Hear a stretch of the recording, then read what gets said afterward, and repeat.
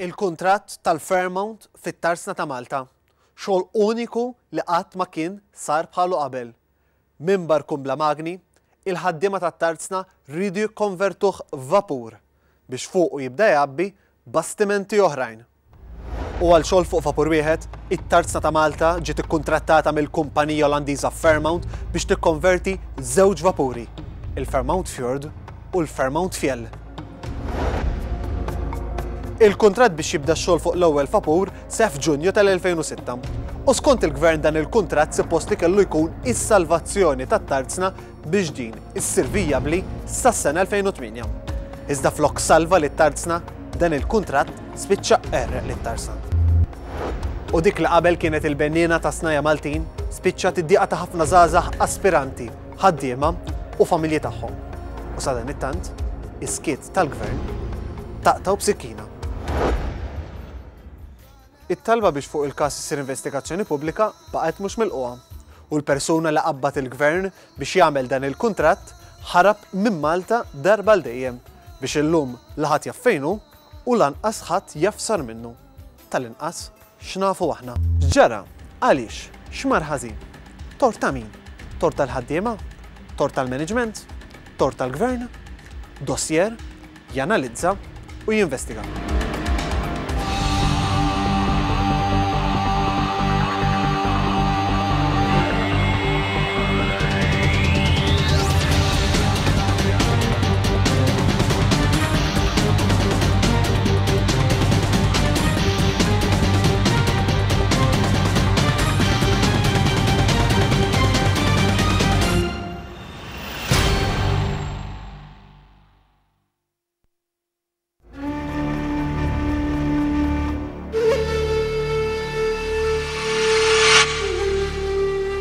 Malta, għalkemm nieqsa minn ħafna riżorsi naturali li għandhom pajjiżi ġirien tagħna, tgawdi wieħed mill-isbaħ portijiet naturali tagħha, pożizzjoni strateġika u f'nofs il-Mediterran.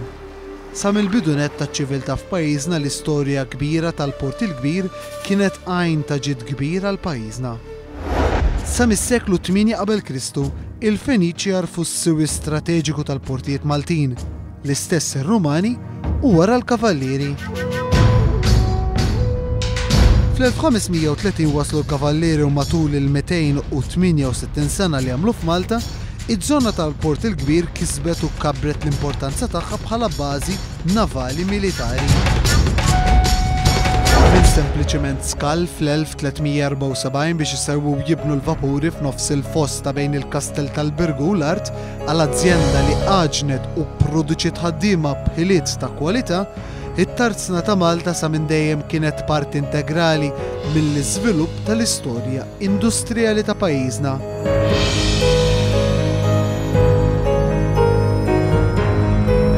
Qabel l-1800 t-tarzna ta' Malta kienet waħda mill-pilastri tal-industrija f'pajjiżna.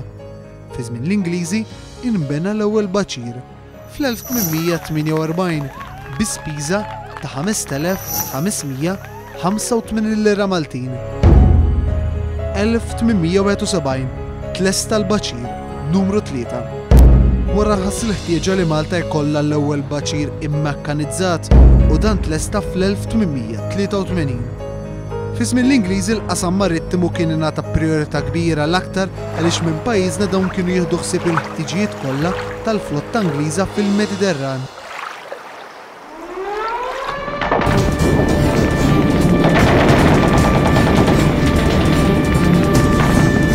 Matul it-Tieni Gwerra Dinjija t-Tarzna ta' Malta ħadmet bla waqfien biex issewwi l-ħsarat fuq il-bastimenti tal-gwerra u l-merkanzija.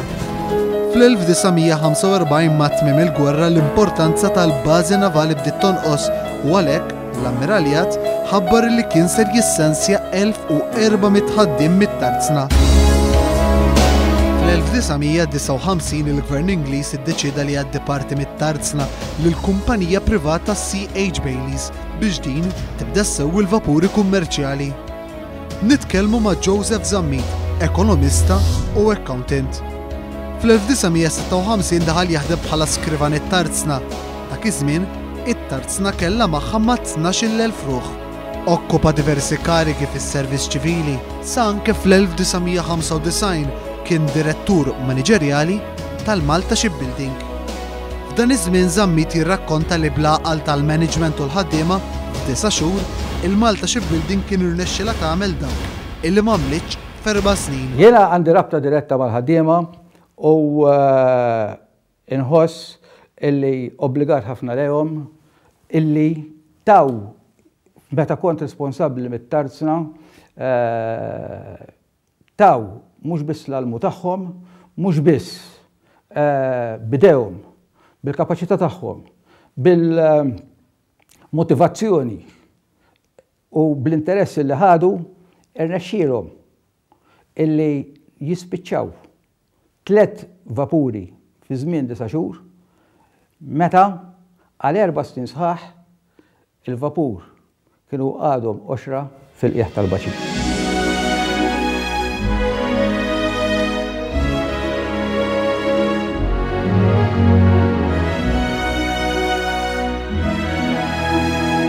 Jiena għalija Dak li ma sarx f'erba' snin, irnexxielhom jagħmluh f'disa' xhur u għamluh b'mod illi kelli l-isbaħ ċertifikati mill-owners tal-vapuri għall-kwalità ta' xogħol illi l-ħaddiema għamlu f'dak il-perijodu hija xi ħaġa illi jiena ma ninsa qatt u nibqa' grat lejn il- Mhux biss lejn il-kapaċità, imma lejn l-isforz kollettiv li għamlu l-ħaddiema tat-Talsa fi żmien li kont responsabbli hemm biex waslu biex ħriġna dawn it-tliet vapuri bl-unuri u anki l-istess Prim Ministru kien preżenti għal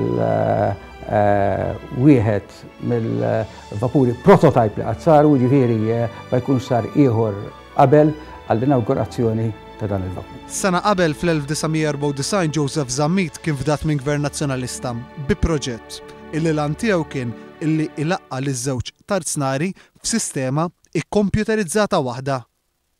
Iżda l-ewwel esperjenza tiegħu mat-tarzna tmur lura għall-1956. L-ewwel esperjenza ta' xogħol li kelli fil-dinja tax-xogħol kienet preċiż fit-Tarsa. Fl-1956, fi żmien il-Gwerra tas-Suez, l-Ammiraljat kien għamel sejħa għal aktar nies, aktar skrivani. Kont għamilt eżami pubbliku u dħalt bħala skrivan, kien għad kelli sittax-il sena. U l-iktar ħaġa li impressjonatni meta dħalt hemm kien li fil-bieb tat-tarzna, jiena u dieħel filgħodu, kont nara nies jittallbu. U staqsejt il-kollegi tiegħi, ma għaliex ikun hawn dan nies jittallbu? U r-risposta kienet li dawk huma eks ħaddiema tat-tarzna li spiċċaw bis-sittin u kull nhar ta' Ġimgħa Jiġu hawn jittalbu lil sħabhom biex ikunu jistgħu jibqgħu jgħixu. Nistaqsu għaliex? Dak kienet xi ħaġa li tant impressjonatni li baqgħet f'moħħi dak iż-żmien kollu. Nies li jaħdmu f'sitwazzjonijiet antipatiċi, perikolużi, nies tas-sengħa, nies li għandhom kapaċità enormi Taw l-aħjar ta' ħajthom jaħdmu għall-Ammiraljat u mbagħad ta' 60 sena jispiċċaw umiljati jittalbu lil sħabhom. Fi frar tal-1963 il-Gvern Ingliż xolja l-kuntratt li kellu ma' CH Baileys u t-tarzna ta' Malta ddiet fidejn il-Gvern Malti illi waqqaf il-Malta Dry Docks Corporation. F'dan iż-żmien, bil-biża' li jitilfu xogħolhom, bosta ħaddiema, inkluż Joseph Zammit, kienu ħallew it-Tarzna. L-ikbar turning point tat-Tarzna kien meta spiċċa l-ammiraljat u ingħatat lil kumpaniji privati. Jien niftakar l-ewwel vapur, is-Sirius, fil-1957, 58, kommerċjali li daħal għat-tiswija ġo Tarzna taħt l-Ammiralljat. Hemmhekk in-nies kienu nkwetati ħafna, ħaddiema kienu nkwetati ħafna li se jitilfu posthom, infatti anki jien f'dak il-perjodu iddeċidejt li nitlaq mit-Tarzna u għamilt eżami għas-servizz pubbliku. Mal-medda taż-żmien it-Tarzna ta' Malta ffaċċjata b'kompetizzjoni ħarxa minn tarznari oħra fil-Mediterran, inkluż mill-Italja, il-Greċja, il-Portugall u t-Turkija kienet sfurzata tbiddel in-natura tax-xogħol tagħha u minn tiswija ta' bastimenti tal-gwerra saret tiddependi aktar fuq tiswija ta' vapuri ċivili u kummerċjali. Ir-riżultati bdew jiġu t-tarzna ta' Malta ma' kull jum li jgħaddi bdiet dejjem iżjed ix-xogħol u minn sempliċement tiswija ta' vapuri, il-Gvern ta' Mint offriet li pajjiżna jibda jibni l-vapuri. Għalhekk, twaqqfet il-Malta Shipbuilding. Il-Gvern Malti li kien jirrealizza li t-tarzna ta' Malta kienet is-sinsla tal-ekonomija sa minn żmien il-Kavallieri u fis-sitwazzjoni ġeografika ta' Malta fejn jgħaddu tal-vapuri kollha minn ħdejn il-gżejjer Maltin fejn ħafna mill-ekonomija tagħna tiddependi fuq il-baħar, deherlu li għandu jsaħħaħ it-tarzna u kien fil-1970s li l-Gvern ta' dak iż-żmien iddeċieda li jibni r-Red China Dock u anki li jwaqqaf il-Malta Ship il-Malta Ship Building għalbiex Malta mhux biss tibqa' issewwi l-vapuri imma anki wkoll tibda tibni l-vapuri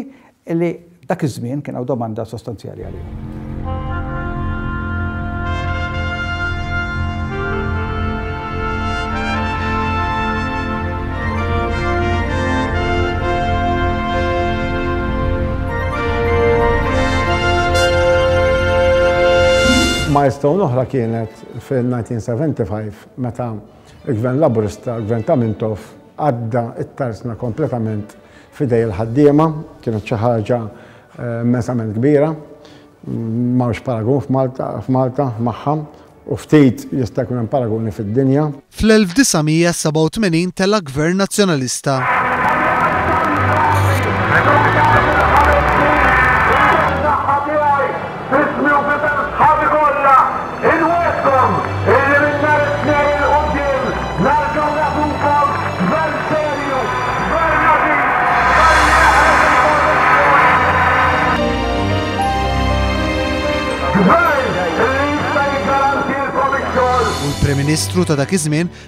Kien laħaq ftehim mal-ħaddiema u l-General Workers Union ta' kemm kellu jkun l-ammont ta' impjiegi fit-Tarzna.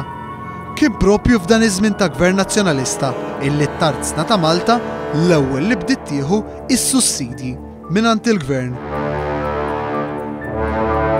Ftit ta' żmien wara l-ewwel darba wkoll it-Tarzna minn qligħ bdiet tagħmel it-telf. Gvern Laburista ta' bejn l-1996 u l-1998 uriet illi t-tarzna ta' Malta tkun waħda mill-aqwa fil-Mediterran. U biex jagħmel dan Gvern Laburista ta' dak iż-żmien kien ħass il-bżonn illi t-tarzna tkun ristrutturata.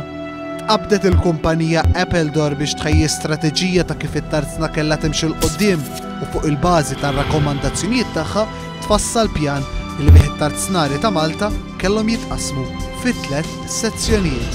L-suġġeriment, il-rakkomandazzjonijiet ta' Appledore kienu ċari illi fiċ-ċirkostanzi ta' dak iż-żmien kien hemm bżonn illi l-workforce tat-tarsna illi tkun iddedikata fuq xi prepare kellha tonqos. U dawk in-nies l-oħra illi huma surplus, peress illi kienu nies ta' sena, nies illi kellhom apprentistat ta' sitta tmien snin, Nies li kellhom kapaċità fis-sengħa tagħhom li l-pajjiż ma jistax jitlef. L-idea tiegħu kienet li jiġu utilizzati f'entrapriżi privati taħt organizzazzjoni illi tkun ikkoordinata flimkien bħala Malta Enterprises jew xi ħaġa hekk fejn Fil-waqt li numru ta' nies ta' tarsa jibqgħu jaħdmu fuq eh, tiswija ta' vapuri, dawk li huma surplus jiġu assorbiti f'dawna il-kumpanniji privati li jisiru eh, vjabbli fihom infushom.